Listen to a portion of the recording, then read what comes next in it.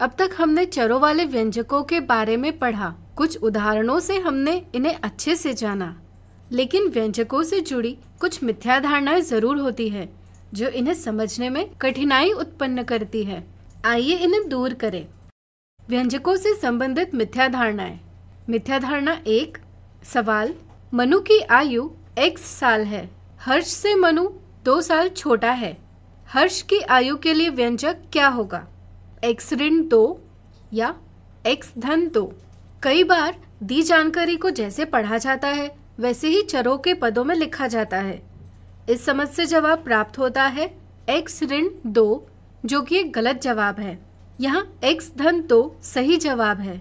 सही व्यंजक पाने के लिए दी हुई जानकारी को समझना बहुत ज़रूरी होता है। जैसे यहाँ मनु की आयु और हर्ष की आयु के लिए सारणी बना सकते हैं। जब मनु एक साल का होगा, तब हर्ष तीन साल का होगा। जब मनु दो साल का होगा, तब हर्ष चार साल का होगा। और इसी तरह सारणी को आगे बढ़ाया जा सकता है। संख्याओं में संबंध देखकर यह बताया जा सकता है कि हर्ष की आयु मनु की आयु से दो से अधिक है। इस समझ से दिए सवाल का सही जवाब प्राप्त होगा, एक्स धन दो। मिथ्या धारणा दो। सवाल, चर x के लिए मान तीन से पाँच x का मान प्राप्त करें। त्रेपन, पंद्रह। कई बार चर का मान पता होने पर व्यंजक का मान प्राप्त करना हो तो गुणन किए बिना x को तीन से बदल दिया जाता है। इस समझ से त्रेपन, यह गलत जवाब प्राप्त होता है। चर का मान व्यंजक में रखते समय पहले लिखी संख्या के साथ इस मान का गुणन किया जाता है। इस समझ से सही हल प्राप्त होता है पंद्रह।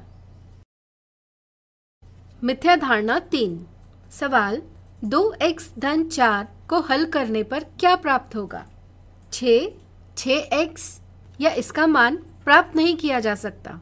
चरों का अर्थ ठीक से न समझने के कारण चर के लिए प्रयोग किए अक्षर को नजरअंदाज किया जाता है और दिए व्यंजक का मान छ या फिर छ एक्स प्राप्त किया जाता है।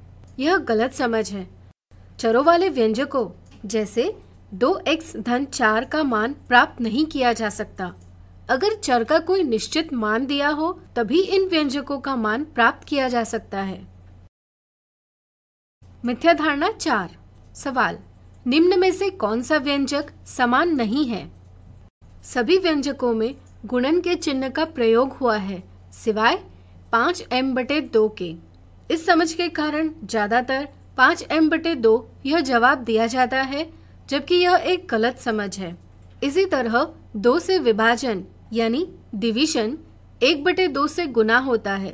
यह न पता होने के कारण ऑप्शन दो जवाब दिया जाता है, यह भी एक गलत समझ है। गुणन के क्रम विनिमयता गुण धर्म यानी कम्यूटेटिव प्रॉपर्टी ऑफ़ मल्टीप्लीकेशन की समझ न होने के कारण एम बटे दो गुना पाँच, जवाब दिया जाता है।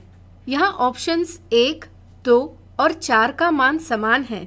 लेकिन पाँच बटे दो गुना एम बटे दो में दो बार दो से विभाजन होने के कारण इसका मान इनके बराबर नहीं है।